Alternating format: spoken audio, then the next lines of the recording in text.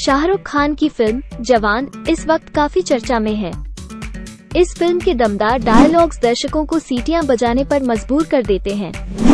Trailer के बाद netizens ने कहा कि इसमें एक ऐसा डायलॉग है, जो शाहरुख खान की निजी ज़िंदगी पर आधारित है। लेखक ने अब खुलासा किया है कि वो डायलॉग फ़िल्म की कहानी में नहीं था। फ़िल्म के एक सीन में शाहरुख खान एक डायलॉग में, बेटे को हाथ लगाने से पहले बाप से बात कर, कहते नज़र आ रहे हैं। फ़िल्म के डायलॉग राइटर सुमित अरोड़ा ने कहा है कि ये डायलॉग शुरुआत में स्क्रिप्ट का हिस्सा नहीं था। फ़िल्म का ट्रेलर 31 अगस्त को रिलीज़ किया गया था। उस वक्त इस डायलॉग ने शाहरुख के फैंस का ध्यान अपनी ओर खींचा था। शाहरुख खान के बेटे आर्यन खान को अक्टूबर 2021 में ड्रग मामले में गिरफ़्तार किया गया था। ये डायलॉग उस घटना से जुड़ा है और सोशल मीडिया पर नेटिजन्स कह रहे थे कि किंग खान ने ये डायलॉग सिर्फ़ ऑफिसर समीर वानखेड़े के लिए कहा था।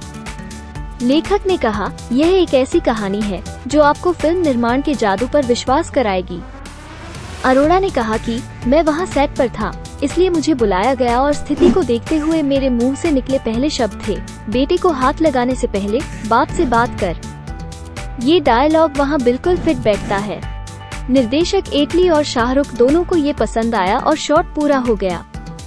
शाहरुख ने जिस तरह से वो डायलॉग बोला, उसे सुनकर हमें बहुत खुशी हुई। लेकिन हमने कभी नहीं सोचा था कि ये लाइन इतनी हिट हो जाएगी और लोग इसे इतना पसंद करेंगे।